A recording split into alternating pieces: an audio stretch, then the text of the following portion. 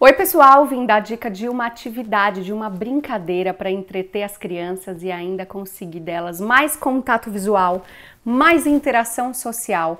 De uma brincadeira simples que geralmente a gente tem em casa, que são as, os balões, as bexigas. O que, que a gente pode fazer com isso aqui e por que, que dá para fazer uma coisa que é tão terapêutica, tão estimulante? Antes de começar a brincadeira, eu sugiro que vocês usem um material como esse aqui, ó. Nós temos esse material disponível para download, mas você pode montar na sua casa.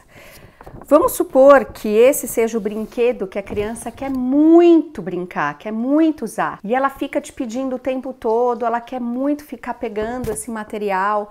Vamos supor que seja a bexiga. Aqui tem um desenho de uma boneca, mas serve para qualquer brinquedo. Ou você pode colar a bexiga aqui, ou você pode imprimir um outro com a foto da bexiga. Mas o importante desse material é que ele é um material de antes e depois. Primeiro, vamos fazer a lição de casa. Nós não estamos em férias, nós estamos em quarentena e precisamos fazer algumas coisas de escola também, porque senão, quando a criança voltar para as aulas, ela vai estar tá muito defasada, vai perder muita matéria, vai estar tá muito abaixo das outras crianças da mesma idade que estão produzindo em casa. Pede para a escola material para fazer lição em casa ou veja com a terapeuta o que, que é esperado daquela idade, quais são os conceitos que provavelmente vão ser trabalhados na escola e monte atividades em casa. Nos atendimentos online, as terapeutas estão passando também esse tipo de informação. Primeiro a lição, depois o brinquedo, a boneca, o carrinho, a bexiga, seja lá o que for, ok? Use isso para mostrar para a criança que primeiro ela tem que fazer a obrigação, depois a diversão. Com os dias ela vai compreendendo essa relação. Com o balão, então, o que, que a gente pode fazer com esse balão que é tão legal para as crianças? Nós podemos encher e a criança vai ficar doida para pegar o balão. Nós podemos, além de amarrar e entregar para a criança, uma coisa que elas gostam muito de fazer é que a gente solte e o balão saia por aí desse jeito doido e elas adoram ver esse balão saindo. Então, o que, que nós vamos fazer? Nós vamos encher nós vamos pedir para a criança fazer igual, para pedir uma imitação para ela. Faz igual, filho, no seu balão, mesmo que o balão dela não encha, mas o movimento, você vai pedir para ela fazer igual.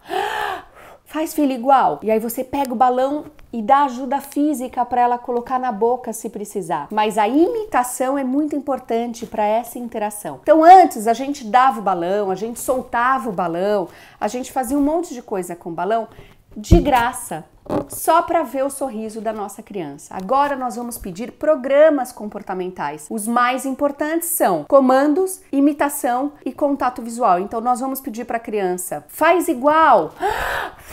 Quando ela fizer, você vai estar tá com o seu cheio, e você solta e deixa o balão correr para ser um reforçador, uma coisa legal que ela tenha prazer que aconteça imediatamente depois que ela fez uma imitação. Assim o cérebro dela entende: "Ah, Todas as vezes que eu faço igual alguém, eu fiz certo, eu ganho alguma coisa boa. Então eu vou imitar mais os meus colegas na escola, eu vou imitar mais os meus colegas no parque, eu vou onde eles estão indo também. A imitação é uma fonte importante de aprendizagem, porque não é tudo que dá para ficar explicando para a criança. Tem coisas que a gente olha os outros fazendo e faz igual. E aí você pode pedir também para ela contato visual.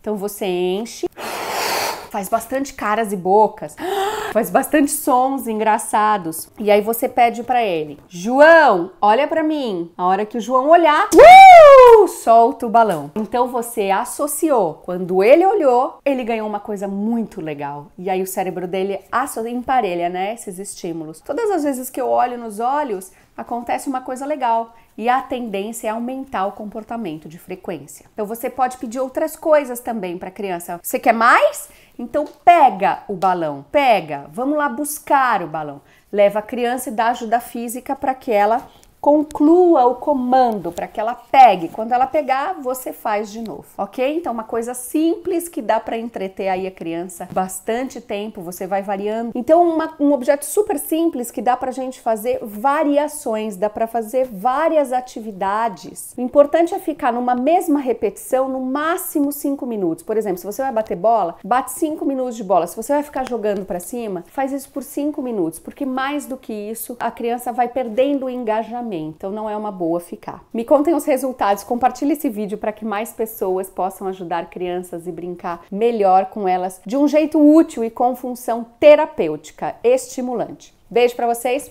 Tchau, tchau.